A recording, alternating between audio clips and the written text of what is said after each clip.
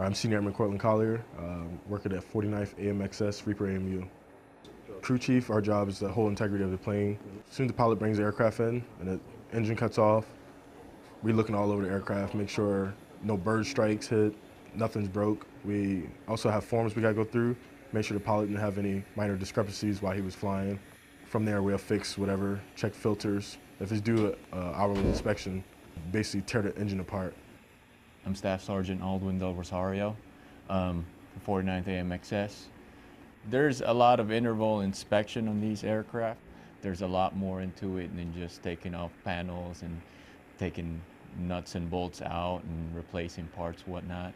Inspections are pretty much just to see if there's any chafing on wires and parts getting bad and make sure that they're actually going to be okay whenever they fly it again.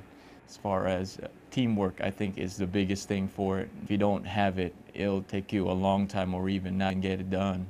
I'm gonna leave here with much respect for the MQ-9 because when I first got here, I thought uh, UAV, you know, unmanned aircraft, a little toy.